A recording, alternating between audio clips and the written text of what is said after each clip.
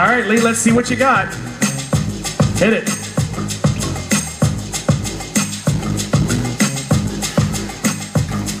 Oh, it's set on video. Starting things off with this nice fluorescent orange shaker tin. I'm gonna hazard a guess that came from barproducts.com. Going right into bottle tin with that Cruzan rum bottle. Stall to a stall, very nice. Just a bit outside.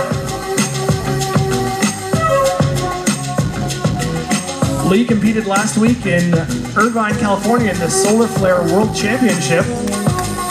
Yeah. Nice roll around the world. Comes a finest call stall, almost. Once again, mixing it up with a little Mai Tai and some triple sec.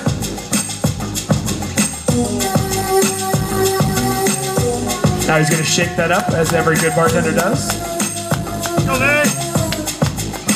Over the shoulder, right in, nice. To the beat.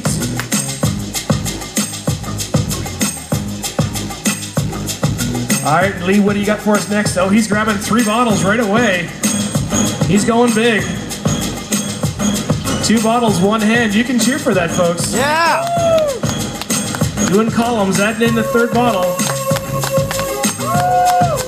I think I know where he learned that last week. Was it some guy named Delpesh? Maybe. I heard he's kind of good.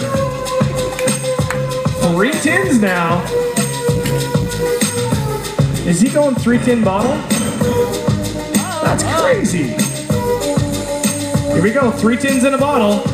One, two, three, four to the nest. Very nice.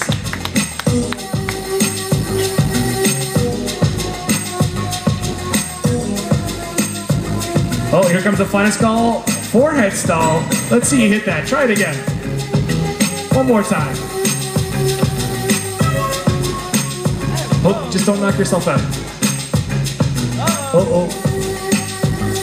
Getting a little sticky. All right, that's it. That's all. Ladies and gentlemen, put your hands together.